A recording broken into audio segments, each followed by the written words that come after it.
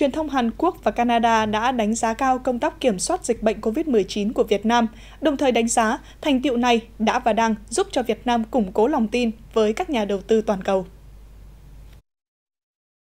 Tờ báo kinh tế Joseon của Hàn Quốc nhận định Việt Nam là một trong những quốc gia thành công nhất trên thế giới trong cuộc chiến chống COVID-19 khi đến nay chỉ có 270 ca bệnh và không có trường hợp nào tử vong. Tờ báo cũng nêu việc hàng loạt nhà máy Samsung đã phải ngừng hoạt động ở nhiều nước, trừ chi nhánh ở Việt Nam. Trong khi đó, tờ Hill Times của Canada cho rằng chính phủ nước này cần nhìn nhận Việt Nam như một đối tác quan trọng khi tìm kiếm sự hợp tác trong công tác kiểm soát dịch, cũng như ký kết các hợp đồng cung cấp thiết bị bảo hộ y tế. Theo tờ báo, trên cơ sở phát triển quan hệ thương mại song phương thời gian qua và thành công của Việt Nam trong kiểm soát dịch, Canada có thể tìm kiếm hỗ trợ trong bình ổn dịch trong nước và đóng góp cho cuộc chiến chống COVID-19 toàn cầu.